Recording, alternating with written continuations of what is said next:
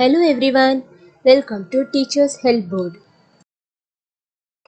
Hello children, today we will learn a new topic in maths, basic concepts in geometry.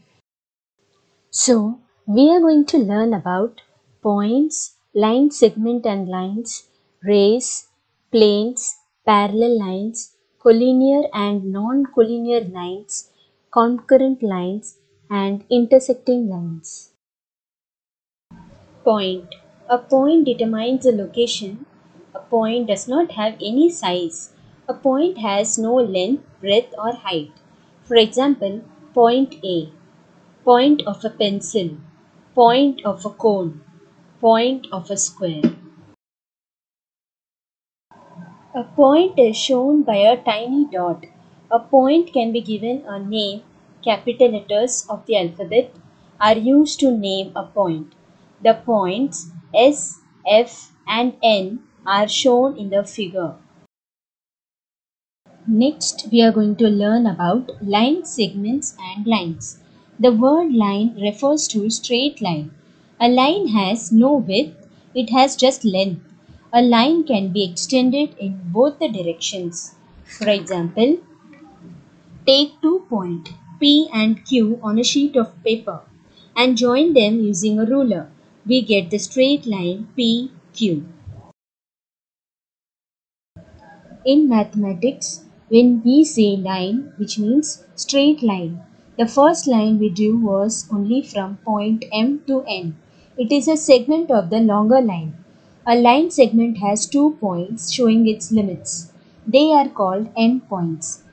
We write line segment MN as segment MN. In short, M and N are its endpoints. Next, we are going to learn about rays. The part of a line that extends indefinitely in one direction from a point is called a ray. It has only one endpoint. For example, sun rays. Rays starting from the sun go forward in all direction. Its starting point is from sun but its light rays goes to all direction. Second example, torch light. Light rays from the torch also starts from a point and go forward continuously in one direction. A ray is a part of a line. It starts at one point and goes forward continuously in the same direction. The starting point of a ray is called its origin. Here, J is the origin an arrowhead is drawn to show that the ray is infinite in the direction of k. The figure can be read as ray jk. The ray jk cannot be read as ray kj. Now we will learn about parallel lines. Lines which do not meet or intersect each other are called parallel lines. Lines are parallel if they are always in the same distance and will never meet. For example, railway track, notebook lines. Lines which lie in the same plane but do not intersect are said to be parallel lines. Now we will learn about intersecting lines. If two lines have one common point, they are called intersecting lines. Two lines intersect each other. In the above figure, line L and line M intersect each other at point P. These are the examples of intersecting lines. Now we will learn about collinear points.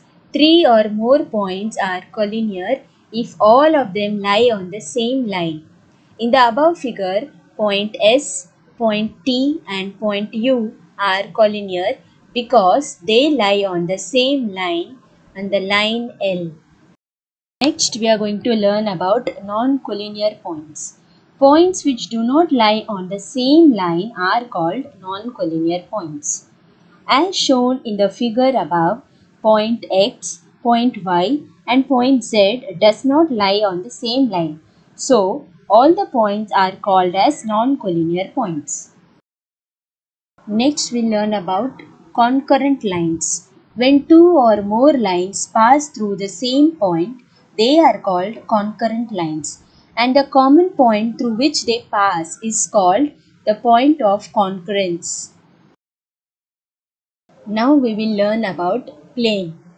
Look at the pictures. What kind of surface do you see? The surface in the first two pictures are flat. Each flat surface is a part of an infinite surface. In mathematics, a flat surface is called a plane. The name of the plane in the picture is H. Even though we draw a suitably small figure of the plane, it actually extends infinitely on all sides. Arrows are drawn to show that the plane extends infinitely in all directions. Hope you all enjoyed the session. If you like this video, press like button, subscribe our channel and press the bell icon to get the daily notification of our channel. Thank you. Keep supporting us.